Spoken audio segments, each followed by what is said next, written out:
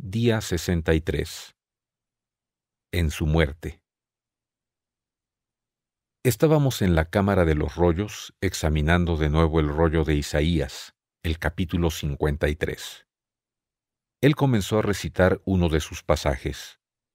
Y se dispuso con los impíos su sepultura, mas con los ricos fue en su muerte.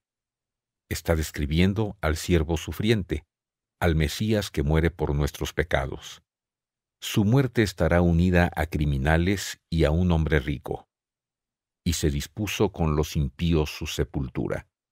Entonces el Mesías fue crucificado en medio de criminales, entre hombres impíos, y fue enterrado en el sepulcro de un hombre rico.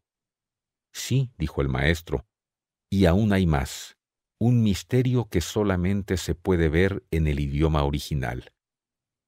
Si lee casi todas las traducciones de Isaías 53, dirá en su muerte, pero en realidad no dice eso. Lo que dice en el idioma original es tan grande y tan cósmico que es difícil para cualquier traductor hacerle justicia. ¿Y qué dice? En el hebreo original dice en su muertes. ¿Qué significa eso? Recuerde que en hebreo, cuando una palabra debería ser singular pero está en plural, con frecuencia es una señal de que la realidad que hay detrás de la palabra es tan única, tan intensa, tan extrema o tan colosal, que la palabra sola no puede contenerlo. Así que, en otras palabras, su muerte es una realidad tan única, una realidad tan extrema, una realidad tan intensa y una realidad tan colosal que la palabra muerte ni siquiera puede llegar a expresarlo. Lo que sucedió en su muerte va más allá de cualquier cosa que podamos expresar con nuestras palabras o comprender con nuestros pensamientos. Pero el plural puede en realidad significar plural. Sí, pero es un singular combinado con un plural. En su muerte tendría sentido como lo tendría en sus muertes, pero no dice ninguna de esas cosas. Dice en su muertes. Eso rompe las reglas. ¿Qué está revelando? Que el Mesías moriría no solo su muerte, una muerte, sino muchas muertes.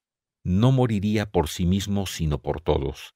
La suya sería la única vida que muere la muerte de todos. Sí, dijo el maestro, incluida la de usted, su muerte y la muerte de todos los que leen las palabras de la profecía. Cada muerte está contenida dentro de esa palabra en plural es el testigo en negro sobre blanco de que su vieja vida y el juicio de ella ha sido consumado en su muertes. La misión. Una de las muertes en su muertes es la muerte de su vieja vida. Haga un entierro y una elegía a lo viejo. Termine con eso y sea libre. Isaías capítulo 53, versículo 9. Romanos capítulo 5, versículo 18. Segundo libro de Corintios, capítulo 5, versículos 14-15.